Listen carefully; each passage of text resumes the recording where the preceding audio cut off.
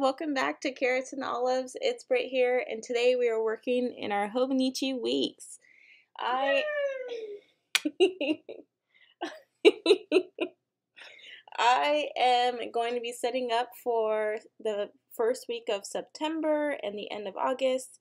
I am using paints today and a little bit of my stickers from my Etsy shop, and I am going to be drawing, as you can see, a leaf I chose this image of a fall leaf because in my September Bujo, I did not do a traditional fall spread.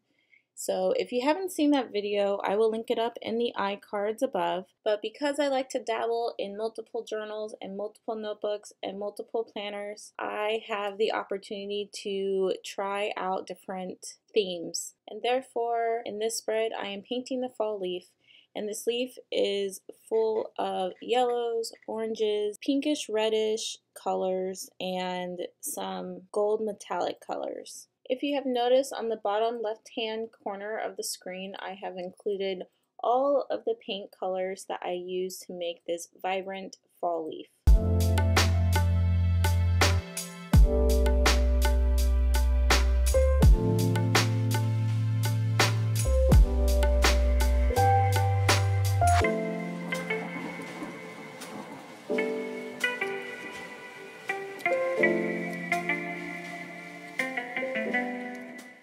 Decided to add two, almost three layers of color to make this leaf as vibrant as possible on this Tomoe River paper and I think I succeeded.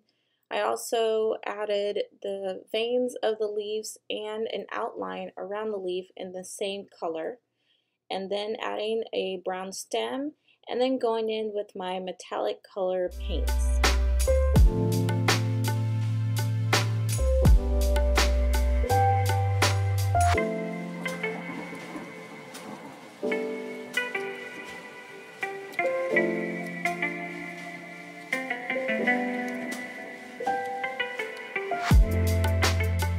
I don't know if you noticed, but I originally made the veins in the wrong direction.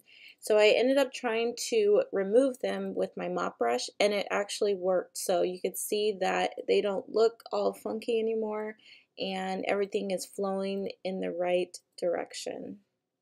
Once everything dried, I pulled out my stickers and I started laying down the ones that I needed to set reminders and appointments.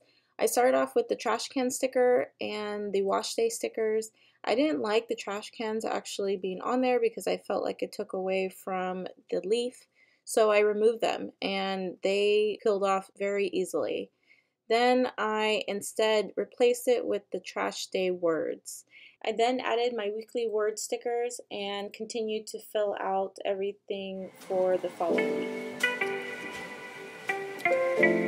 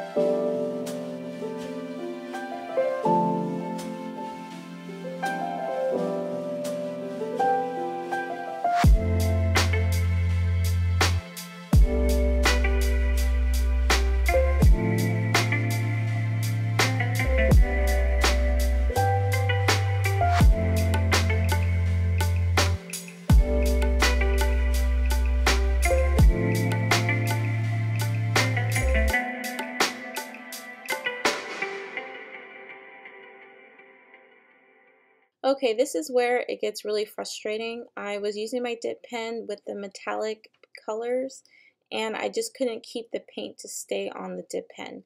So you could see here I was giving it a try and really trying to work with it and then it just wasn't working so I pulled out my watercolor brush to finish it off. And it says fall in love with moments. Well that completes my spread. If you like this video please give it a thumbs up. Don't forget to subscribe if you're new to my channel and I will catch you guys in the next video. Bye!